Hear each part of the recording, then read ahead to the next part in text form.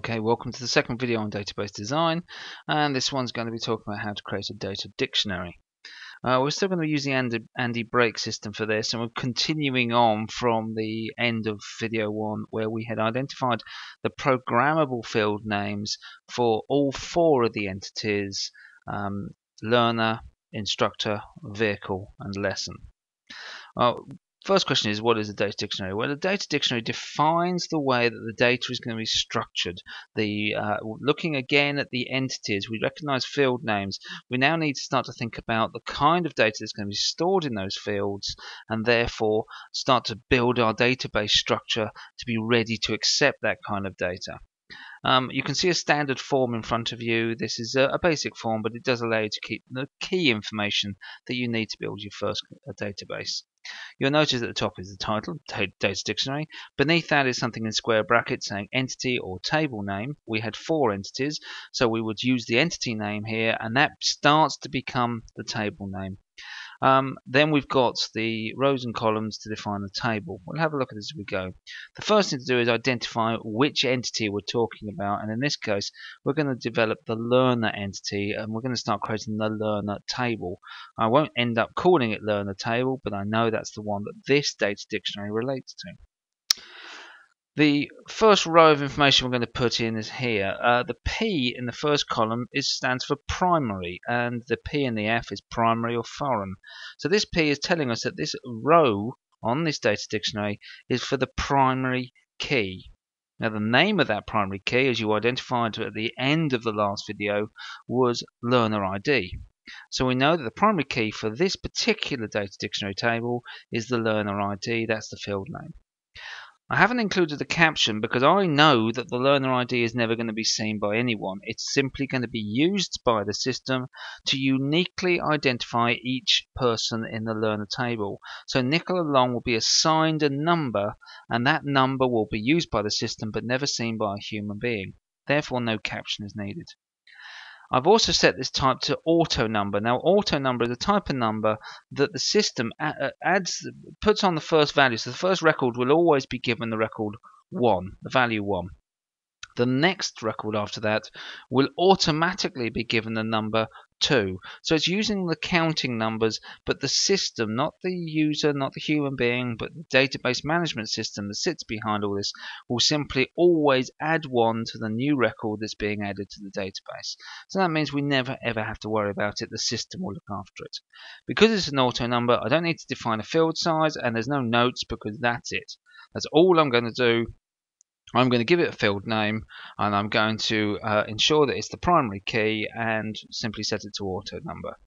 The second field is our foreign key. That's the instructor ID. Remember, this doesn't belong to the learner, but it is something that the learner relates to the instructor. This is going to be the usual instructor. So you can see that's what I put in the caption. So the caption is what someone's going to see whenever they see this field. They're never going to see the words instructor ID. They're going to see usual instructor in relationship to this. The data type for this is something called long integer.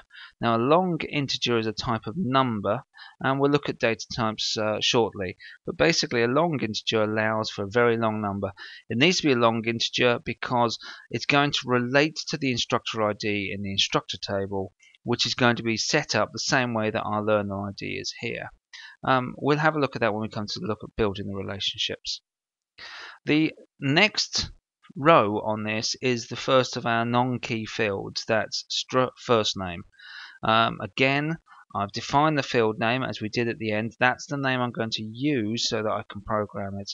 But the caption is first name. It's user friendly. So when the user sees this field, they're going to see the word first name. And that's going to explain exactly what they need to enter into here. They never need to see the term first name. It wouldn't make any sense to them because I know this is going to be a whole load of uh, letters and numbers, in fact, it's always going to be all letters for people's first names, I've assigned the data type text. And text allows you to put anything into this at all. Um, it, it will be, text fields are very open. They can be a mixture of numbers, letters, or anything else in there. So the first name can be a construed of everything, which is fine because I can't restrict. If you want to call your child uh, Alpha237, then you're free to do so. Uh, you be a moron, but you can do so if you wish to. Um, field size I've set to 20. Uh, if you've got more than 20 characters in your first name, then that's really difficult for you because you're not going to be able to fit into my database. Um, and that's a really long name. So I've gone for 20 characters. That's 20 letters in your first name. I'm going to assume there's not many people out there with that, and hopefully they're not going to come to Andy Brake's driving school. Um, from there, I can go and do all the other fields. They're straightforward. You can see they're all text fields, and this is Struer last name and house number, street, locality, and all the rest. The only thing that changes is the field size. Uh, maybe someone coming with a last name longer than 20 characters. That is more likely than the first name because last names can become quite lengthy. House number is 20. Now you might think, well, house number, I mean, how big can these become? But of course, it could be a house name, and some people like to choose long names. So 20 characters for that. And 30 for the others. I may have a discussion and decide not uh, not to have that. It might be longer or shorter, but you do want to limit the file size as much as possible because this is taking space up on the hard drive. And with a small database, it's not a problem. But with a huge database, lots and lots of people, big insurance company, this could take up lots and lots of terabytes of data. I've stopped there, but obviously if you remember back, we had lots more fields on the learner table, and I stopped there because the next field that we want to have a look at actually has something slightly different. It's the postcode. And the postcode is still text. I've set it to 9 characters, and you'll notice I'm using the notes column now. The notes column, I'm going to add some special features that I may want to include in there. Something to remind me that I need to pay attention to. For example, with a postcode, there is actually a structure to the postcode that I can recognize. It generally consists of a letter, then a letter, then a number. Sometimes there's another number, then sometimes the next two numbers, or there's two parts, are either two numbers or one number, always followed by two letters. So letter, letter, number, number, number, number, letter, letter is the longest postcode. So that mask, that's that's called an input mask in the notes column, and that's telling me and the computer when I come to code it in that there is a structure to this. The greater than symbol actually is telling the system that all the letters in this mask must be uppercase. The letter L is not simply the letter L, but it tells the computer that whatever someone types into that position must be a letter. It cannot be a number or a character. It must be a, letter from A to Z. So if you wanted to enter M and then B, you can do because that's perfectly fine. The letter L, the letter L will let you put two letters in. The zero says you must enter a number. It must be a number and you must enter one. The 9 means that you could enter a number. If you don't, it will remain empty. But if you try to enter anything else in there, it will fail. So we then got a space, and the space is counted. We see it as empty, but actually the computer does have to know it's there. Then we've got the 9 again, could be a number. The 0 must be a number. Remember, 9 doesn't mean could be a number, could be something else. It means it's either a number or just don't put anything there.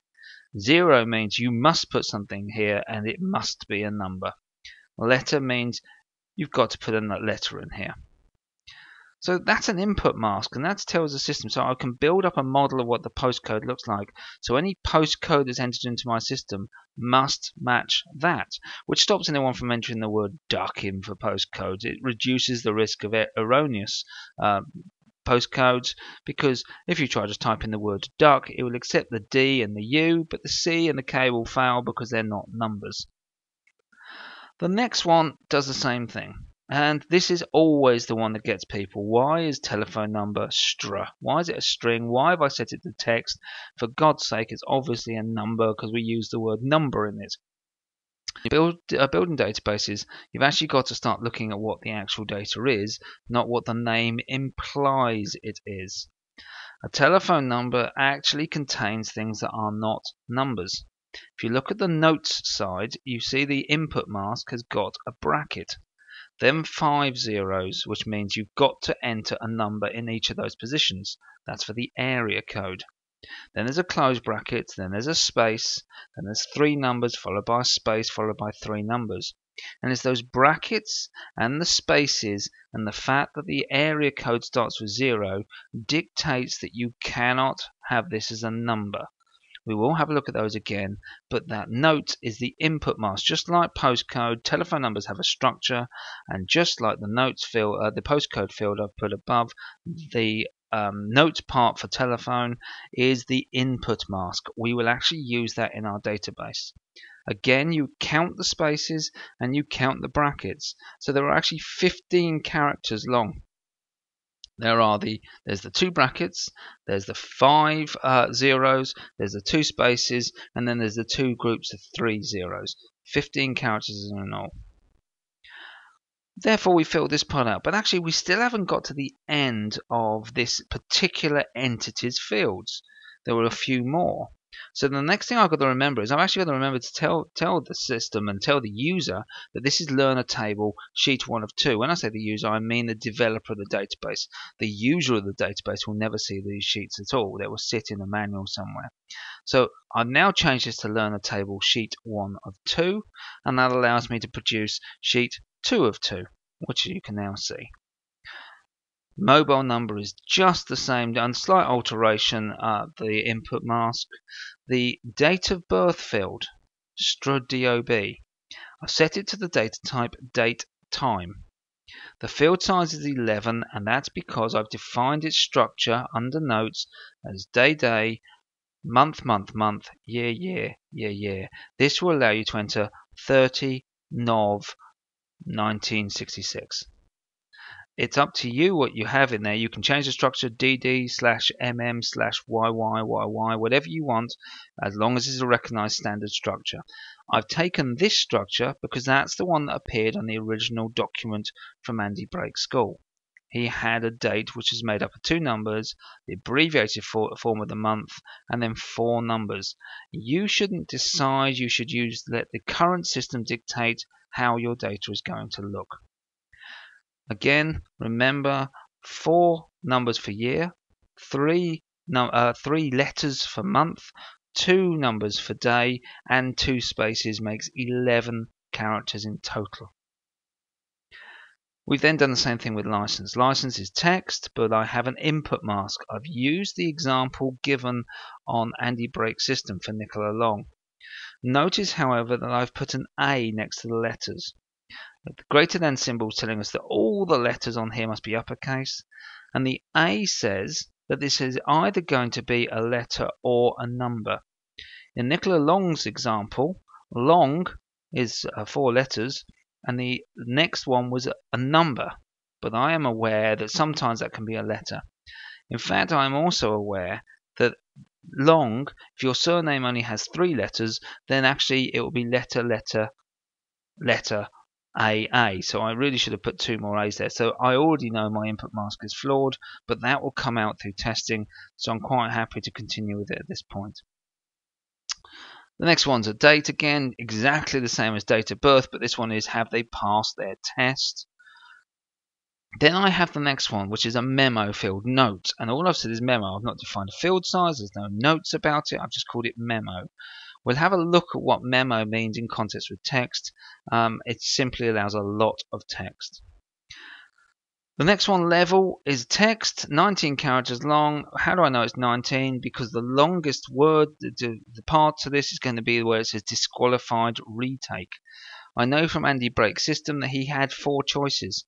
Those four choices are listed in notes, and I will, when I come to code this, ensure that those four choices are embedded into the table. So you can only choose from those four. It will be a selection process that the person will go through, but they must define it as 19 because that's the longest part. The next one is a yes no field, and this is the past theory part. Basically, have you passed your theory, yes or no? So there's nothing else to define. The field size doesn't matter. There's no notes for this. It's simply set to yes, no. That will actually give you a little tick box to put in uh, on your form. The last part is the manual automatic. Notice I've called it strut transmission, but the caption is exactly as it appeared on Andy Brake's form. The data type is text, and just like level, I have uh, choices, in this case only two choices, manual, automatic. I've set field size to the longest length, which is the word automatic, so therefore it's 9 characters long. That's the data dictionary. That's actually sorted for the data dictionary. So there's both the sheets and I've now finished the learner table. I would now go off and do the instructor and the vehicle and the lesson. Um, now the next thing to just quickly look at is these data types. Though there is quite a lot, there's only five we need to think about. Text. Text is any group of characters or letters. Um, it allows you to enter up to 20, 255 characters in, in total. Uh, it's like a tweet, but double the tweet or whatever it is. Um, it is basically uh, text fields allow you to put anything into them. If you wish to, you can imagine them as the prostitute of all data types. It'll accept anything. Um, the memo field is similar to a text field. Used it on the notes one, but unlike text, it's not as restrictive. Where text only allows 255 characters, the memo field will allow you to uh, use 65,000 or more. Imagine the back of a DVD case. You've got the front, which is the title. That's that's fine. That's text. Maybe you've got the director. That's fine. That's text. But the blurb on the back that tells you about the uh, DVD, well, that's a lot of text. So you'd make it a memo field so you could enter all that text. Number only allows numbers either whole counting numbers, fractional numbers, percentiles, anything that's a number, and we're going to have a bit of a look at numbers in a second. Pretty obvious what date time is. It's a date or a time. And yes, no offers you two choices. Uh, yes, no, or whatever else. But it basically allows you to select. So if you know you've only got two choices, yes, no is what you're looking for. Those are the five basics that you would use on the data, uh, data dictionary. There are other ones that you can define, but you'll find out about those as you explore databases further. So when is a number not a number? Well, actually, as we saw with telephone numbers, they're not numbers. So the one of the first criteria you need to understand is, is there a leading zero? If there is, then remember with counting numbers, if I've got 0, 1, and it's a counting number, I don't mention the 0, I simply say 1. And what the database will do is if you enter into a database number and you enter 01, it will drop the leading 0. That's the 0 that comes before the number. Now that's fine with a number, but with a telephone number, if I try to call a number 01424 and I put and I drop the 0, so I only entered 1424, it would fail. It wouldn't work. It wouldn't be recognized as a telephone number. The second example is like a country code. 0044 is for the UK. If you allowed the leading zeros to be dropped because I define as a number, it would select 44. That's not a national international dialing code, and therefore your telephone call would fail. So if you've got the leading zero, it's got to be text.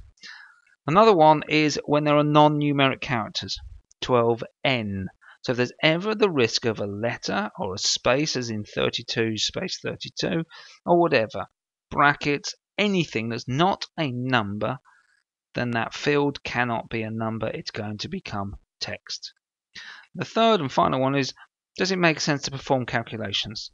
My first example states telephone number multiplied by 3. Clearly, that makes no sense. Please take my telephone number and multiply it by 3. Why the hell would I do that? It makes no sense whatsoever. Same as the next one.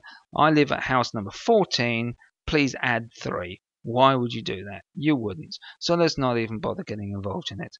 Those are the three instances leading zero, non numeric character, performing count, not being able to perform or not bothering to perform calculations tells you that a number is not a number, it's a text field. Just to apply that to a telephone number, there's a telephone number. We can see on there that first of all, there's a leading zero, 01424. We can also see that there are non-numeric characters. There are two brackets and there is a space. And last but not least, as we said before, it makes no sense to perform a calculation upon a telephone number. Okay.